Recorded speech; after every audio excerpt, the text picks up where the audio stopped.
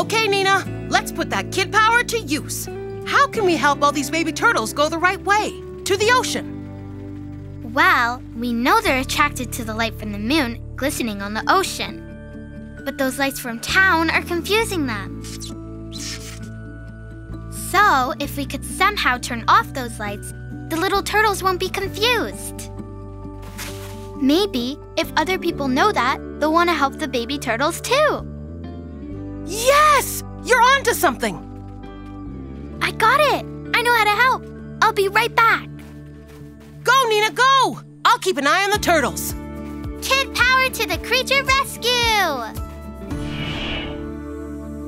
Okay, Carl, it's a good thing that elks shed their antlers, and mine fell off just before my power suit fritzed out. Lucky. Ah, but it doesn't seem like this bear cub understands that if she just climbs the antlers, she can get out. Maybe there's a way we can get her going to want to start climbing. Yes, great idea, Carl. We need to show her the way. And look. The miniaturizer? yeah, I may not have creature powers, but I still can miniaturize. Cool. I'm going undercover, mini-sized, to see if I can help that bear cub figure this out. Miniaturize! Okay, I'm gonna give that idea of yours a little mini push. Woohoo! Kid power!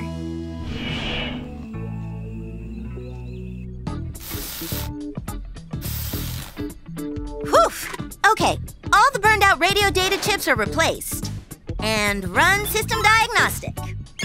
That'll take a while to run. But if all the hardware is fixed, we can reboot the CPS capacitator and get those suits back online. Now let's find that little rhino.